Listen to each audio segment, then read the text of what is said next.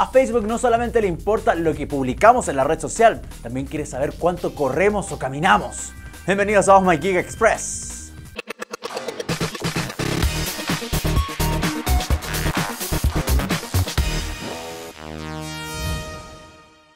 Lo mencionamos como un rumor hace dos capítulos atrás, pero ahora es una realidad. Microsoft cerró la compra definitiva de Nokia y con ella la integración de dos empresas en una.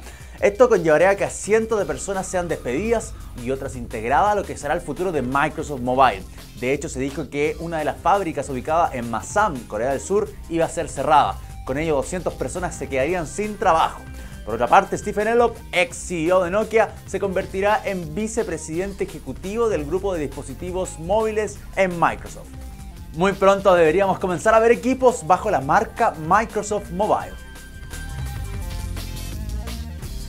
Facebook hizo una interesante compra. Como el poder de la información es su fuerte, se hizo de la exitosa aplicación Moves, la cual registra la actividad física de los usuarios y le da información de lo que realizan a diario, como los tiempos e distancias de correr, caminar, andar en bicicleta, entre otras actividades. La compra ya está confirmada, pero no se informó del monto. Moves a la fecha contaba con más de 4 millones de descargas en un año y medio de existencia para dispositivos iOS y Android.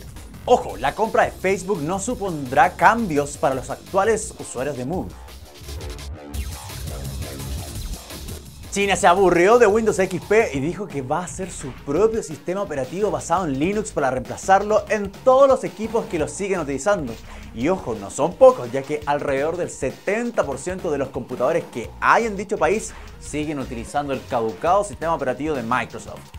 Según el Ministerio de Industrias y Tecnología de la Información chino, seguir utilizando Windows XP es un riesgo directo a las redes básicas de telecomunicaciones, por supuesto, y una amenaza para toda la seguridad china. Para muchos puede sonar como una medida autoritaria, pero siendo sinceros, la era XP debe acabar como sea.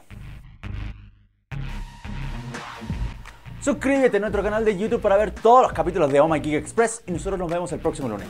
Chao, chao.